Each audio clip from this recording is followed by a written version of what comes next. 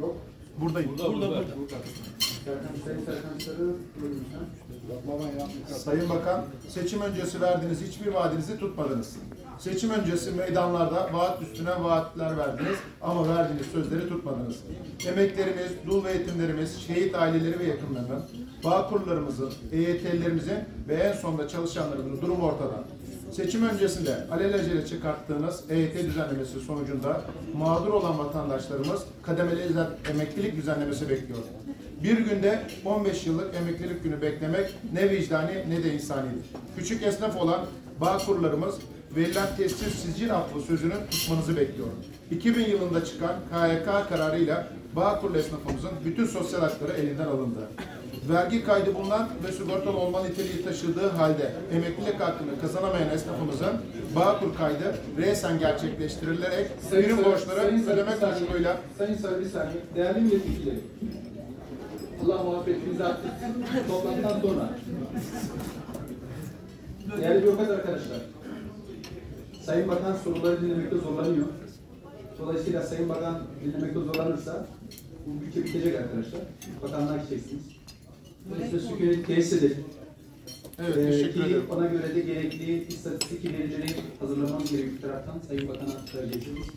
Dolayısıyla sükuneti tesis edersek zaten üç konuşmacımız var. iki konuşmacımız daha var. Sonra soru cevaba geçiyoruz ve Sayın Bakan'la beraber oylamaya geçeceğiz. Çok teşekkür ediyorum sabrınız için. İlave süre vereceğim. Buyurun. Evet, teşekkür ederim Sayın Başkan. Vergi pay- kaydı bulunan ve sigortalı olma niteliği taşıdığı halde emeklilik hakkını kazanamayan esnafımızın Bağkur kaydı reysen gerçekleştirilerek prim borçları ödeme koşuluyla mağduriyetlerinin gecikmeden çözülmesi gerekiyor. Bu konunun çözümüne yönelik olarak Temmuz ayında vermiş olduğumuz kanun teklifinin gecikmeden gündeme alınmasını talep ediyorum.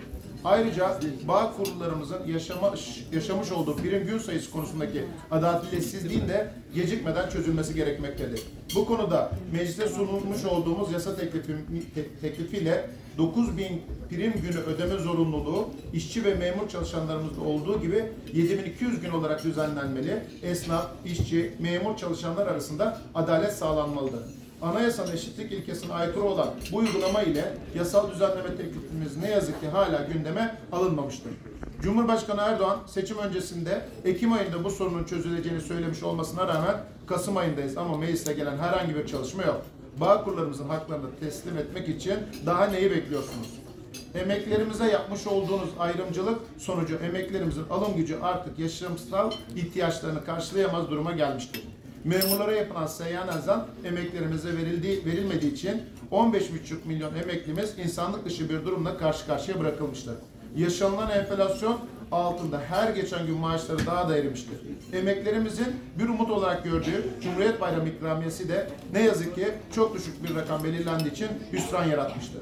Ayrıca AKP iktidar tarafından düşük emeklilik aylığına mahkum ettiği için çalışmak zorunda kalan yaklaşık 2 milyon emeklimizin kapsayan kapsam dışı bırakılmıştır. Bu karar hangi vicdana sığar? Nisan ayından bugüne kadar maaşı artmayan emeklerimiz gelen zamlar karşısında eridi bitti. Emeklerimiz her gün ağlıyor, isyan ediyor ama ne duyan var ne gören. Ülkemiz ne hale getirdiniz çok yazık.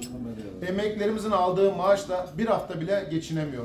Tane ile canı çektiği meyveyi pazardan alamaz duruma getirdiğiniz emeklerimiz için biraz olsun vicdanı sızlıyor mu? Emeklerimizin ilacına ulaşamaz olduğu, oldu. Bari emeklerimizin ilaç katılım payı, muayene ücreti, fiyat farkı, reçete katılım payı adı altında aldığınız ücretleri kaldırarak ilaca ulaşma imkanı sağlayın. Memur, işçi ve emekli vatandaşlarımızı enflasyonun olumsuz etkilerinden korumak ve refah seviyesini arttırmak da öncelikli olmaya devam edecek diyorsunuz ama bu konuda yaptığınız hiçbir şey yok. 10 ila 20 bin lira arasında kiraya ne asgari ücret yetiyor ne memur maaşı. Anayasada vergi ödevi başlıklı 73. madde ile her vatandaş vergi ödemekle yükümlü tutulmuş. Herkes kamu giderlerini karşılamak üzere mali gücüne göre vergi ödemekle yükümlüdür. Hükmüne yer verilmiştir. Bu hükümle herkesin kamu harcamalarına katkıda bulunmak üzere vergi ödemekle yükümlü olması ve yanı sıra vatandaşların bu hükme göre yerine getireceği yükümlülüğü vatandaştan mali gücüne göre olması amaçlanmıştır. Hüküm açık ve nettir. Vatandaşların vergi ödeme güçlükleri dikkate alınarak vereceklerdir.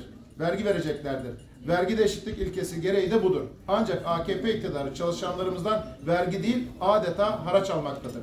Kamu çalışanlarının ücretlerine yapılan artış oranında vergi dilimlerinde artış yapılmadığı için verilen maaş artışlarından kaynaklı bir üst vergi dilimine geçen gelirleri sebebiyle daha çok vergi ödemek ve daha az maaş almak durumunda kalmıştır. Bu da kamu çalışanlarının alım gücünün her geçen gün biraz daha düşmesine yol açmıştır. Emekçilerin ücretlerine gün geçtikçe erimiş ve erimeye devam etmektedir. Sosyal devlet ilkesi, adalet ilkesi ile vergi sistemin adil olması ilkesi çalışanlarımızın ücretlerinin ödeme gücüne göre vergi vermelerini gerektirmektedir. Bu bağlamda tekrar etmek gerekirse kademeli EYT düzenlemesi acilen çıkarılmalıdır. Bağkurlu esnafımız için 7200 prim günü ve tescil sicil affı gecikmeden çıkarılmalıdır. Bayramlarda emeklilerin hesabına asgari ücret tutarında ikramiye yatırılmalıdır. Emeklilerimizin sağlık hizmetlerinde ödediği ilaç katılım payı, fiyat farkı, mu- muayene ücreti kaldırılmalı. Emekli aylıklarındaki adaletsiz giderilmeli. En düşük emekli maaşı asgari ücret kadar olmalıdır. Maaşlarda kesilen vergi dilimleri maaş artışı oranında güncellenmelidir. Bir diğer konuya dikkat çekmek gerekirse Sayıştay, Sayıştay raporlarını incelediğimizde Sosyal Güvenlik Kurumu'nun özellikle kamu kurumlarında Sayın Sarı teşekkür ediyorum. bir bir dakika Sayın alabilirsek Sayın Sarı toparlayın. Evet. Sayıştay raporları incelediğimizde Sosyal Güvenlik Kurumu'nun öncelikle kamu kurumlarında olan alacaklarına tahsil etmediği veya edemediği görülmektedir. Yıllardır düzenlenen Sayıştay raporlarında bu konuda uyarılar yapılmasına rağmen hiçbir adım, adım atılmamıştır.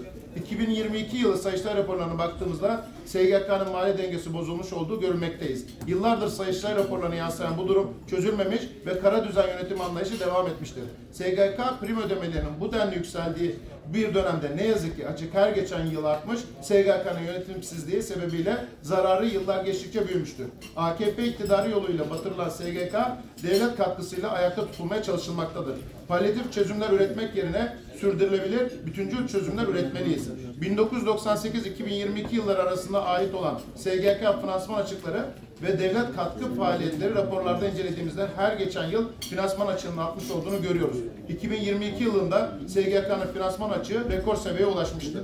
39 milyar olmuştur. Görünen o ki zarar eden Teşekkür ediyorum. Teşekkür ediyorum.